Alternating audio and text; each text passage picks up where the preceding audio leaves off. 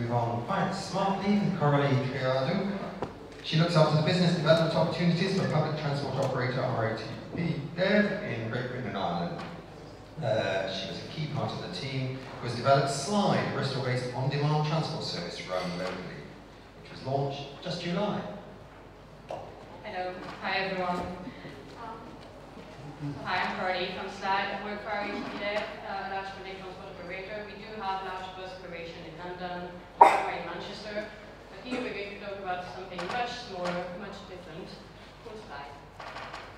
Um, mobility as a service. Basically, public transfer, transport can on occasion suffer from lack of information, and that can be a bit um, unsettling for passengers, which, when is my next bus, where is it, which ticket can I get uh, use.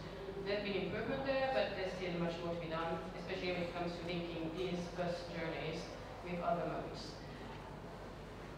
Public transport is really much in demand, and um, passengers want more choices. We think that bus services can be provided in a more flexible way, a more personalized way, and therefore that underneath the umbrella of MaaS, uh, you, you'll have different transport options, but the real added value is providing a unified offer, providing more flexibility in your journey, more information, and hopefully increase multimodal trips. Personalized transport. Uh, maybe you've caught Pokemon over the summer, or maybe not. Uh, maybe you feel like Gromit, and you want to get a bus. Or you're just a simple commuter wanting to go somewhere.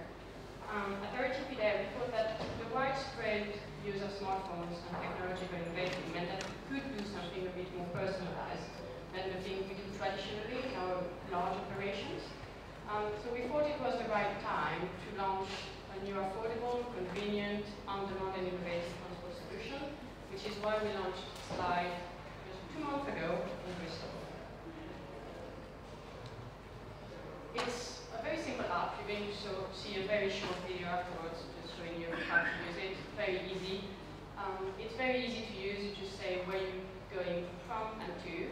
When you want to travel, it will suggest a few transport options. You select which time you want to travel, and that's it. You may be grouped with up to seven other people. You pay in the app, so you don't need to handle cash. Uh, it's all done at the booking time, and you have some real-time update as where you leave keys, when you're likely to arrive, whether there's any delay or not due congestion, or hopefully not. Uh, you can book in advance, or you can book 10 minutes before going. Again, flexibility knowing.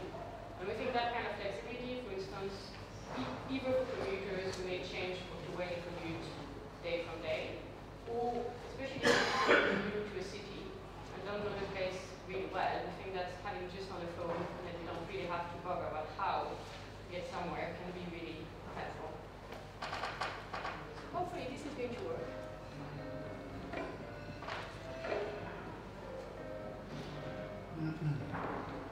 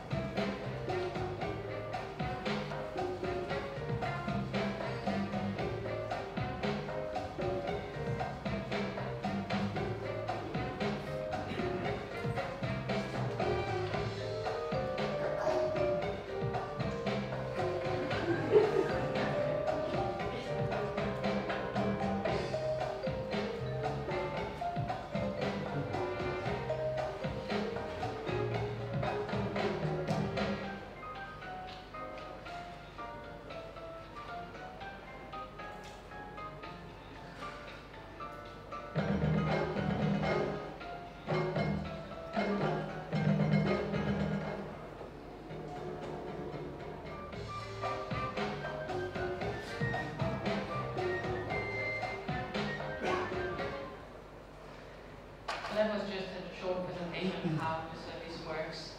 Um, for going back to mobility as a service, basically slide is we as one transport operator uh, amongst other. It's one transport solution. It could be more integrated uh, with other transport modes. For now in Bristol, as I said, we launched two months ago. Um, there's no mobility as a service per se in Bristol, so we haven't integrated into any wider environment sake of being able to test out the market, see how the service is welcomed by passengers. And we've had some great feedback so far from our early adopters, and basically take it from there and see whether we need to adjust the service, make any change, and make it evolve. Um, if you see it in the future, this could be integrated, as I said, one transport solution. Then the main question is who provides the integration? How is it done? Is it led by the local authorities? Is it privately? in uh, northwest Guangzhou.